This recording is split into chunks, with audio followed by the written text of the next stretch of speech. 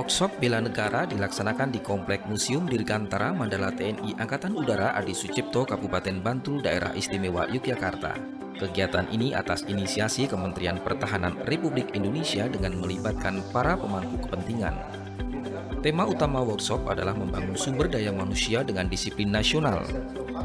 Dan untuk kali ini, workshop menyoroti kesadaran bela negara pekerja media. Terlebih, pers menjadi pilar keempat demokrasi.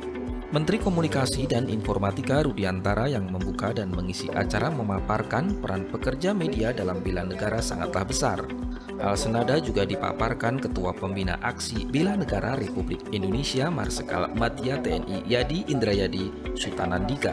Media dapat berperan dalam membela negara dari ancaman gangguan hambatan dan tantangan terhadap wilayah darat, laut hingga udara melalui pemberitaan. Dalam upaya mendukung bela negara, Menkominfo juga melakukan upaya penangkalan berita-berita hoak yang beredar di masyarakat, terutama melalui media sosial.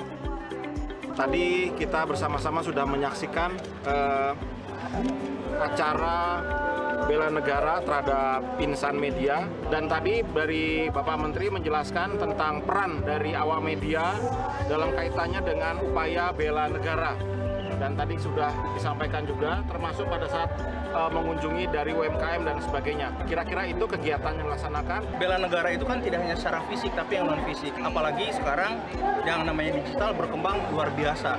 Akibatnya ada positif, ada negatif. Negatifnya antara lain salah satunya adalah hoax. Saya ajak kepada semua terutama teman-teman media jurnalis untuk sama-sama memerangi hoax. Kita jangan mau diadu-adu. Emang kita jangkrik, diadu-adu gitu loh yang sifatnya namimah gitu. Lawannya terus Kominfo beserta teman-teman semua beserta ekosistem akan lawan terus hoax ini. Dari Kabupaten Bantul, Daerah Istimewa Yogyakarta, Agus Suci Iswahyudi, Metro TV.